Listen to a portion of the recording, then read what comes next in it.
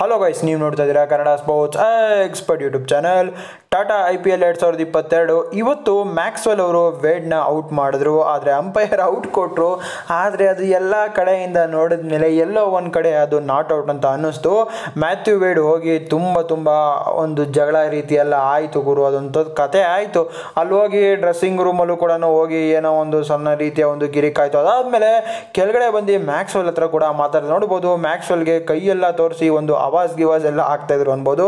ಇದು ಒಂದು ದೊಡ್ಡ ಜಗಳ ಆಗಬೇಕಾಗಿತ್ತು. ಆದರೆ ಮ್ಯಾಕ್ಸ್ವೆಲ್ ಅವರು ಕೂಲ್ ಡೌನ್ ಆಗಿ ಗುರು ಅಂಪೈರ್ ಕೊಟ್ಟಿದ್ದು ಡಿ ಡಿಸಿಷನ್ನು ಫೈನಲ್ ಡಿಸಿಷನ್ನು ನಾನು ನೀನು ಏನು ಮಾಡೋಕ್ಕಾಗೋದಿಲ್ಲ ಅಂತ. ಆದರೆ ಮ್ಯಾಥ್ಯೂ ವೇಡರು ತುಂಬ ತುಂಬ ಬೇಜಾರು ಮಾಡ್ಕೊಂಡ್ಬಿಟ್ಟಿದ್ರು ವೀಕ್ಷಕರೇ. ತುಂಬ ತುಂಬ ಚೆನ್ನಾಗಿ ಆಡ್ತಾ ಇದ್ರು. ಆದರೆ ಇವತ್ತು ಬೇಜಾರು ಮಾಡಿಕೊಂಡ್ರು ಅಂತ ಹೇಳ್ಬೋದು. ಆದರೆ ವಿರಾಟ್ ಕೊಹ್ಲಿ ಅವರು ರೆಡ್ ಆರ್ಟ್ ಫಾರ್ಮಲ್ಲಿ ಬಂದಿದ್ದಾರೆ. ಫೈನಲಿ ಕಿಂಗ್ ಕೊಹ್ಲಿ ಅವರು ಕೊನೆಯ ಮ್ಯಾಚಲ್ಲಿ ಬೆಂಕಿಯಾದ ಪ್ರದರ್ಶನ ಬಂದಿದೆ. ದೇವ್ರ ಹತ್ರ ಬೇಡ್ಕೊಳೋದು ಒಂದೇ. ಆರ್ ಸಿ ಬಿ ನೇಗಾರ ಮಾಡಿ ಕ್ವಾಲಿಫೈ ಮಾಡಿಸ್ಬಿಟ್ರೆ ಈ ಸಲ ಕಪ್ಪು ನಮ್ಮದೇ ಆರ್ ಸಿ ಬಿ ಹೊಸ ಜಿ ಟಿ ಬೆಂಕಿಯಾದ ಪ್ರದರ್ಶನ ಕೊಡ್ತಿದ್ದಾರೆ ಅಂತ ಹೇಳ್ಬೋದು ವೀಕ್ಷಕರೇ. ತುಂಬ ತುಂಬ ಸೊಗಸಾಗಿ ಆಡ್ತಾ ಇದ್ದಾರೆ ಇಬ್ಬರು ಅಂತ ಹೇಳ್ಬೋದು.